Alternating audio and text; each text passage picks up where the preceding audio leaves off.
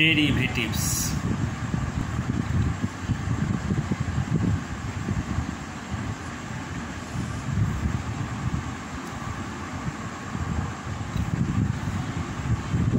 y equal to x e to the power x find dy dx here you see y equal to x into e to x. That means you will apply product rule. Product rule in derivative. Now differentiation both sides with respect to x differentiation both sides with respect to x.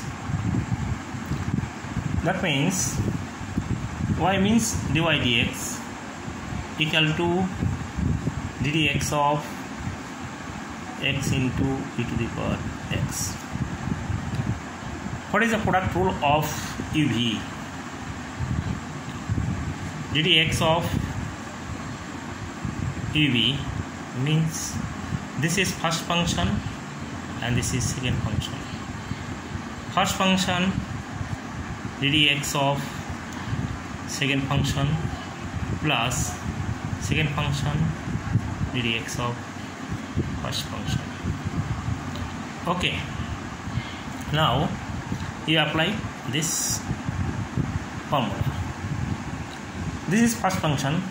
That means first function ddx of second function plus second function ddx of first function. Okay. Now this is dy dx. This is also dy dx. X. Ddx of e to the power x means e to the power x plus ddx of x into 1 now you can take e to the power x common common that means x plus 1 this is answer. Okay.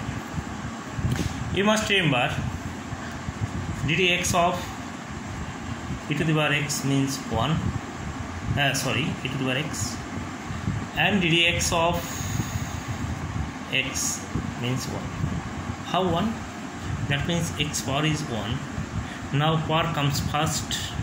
It will be 1 x to the power 1 minus 1 x to the power 0 that means 1 this is formula. Okay you must remember it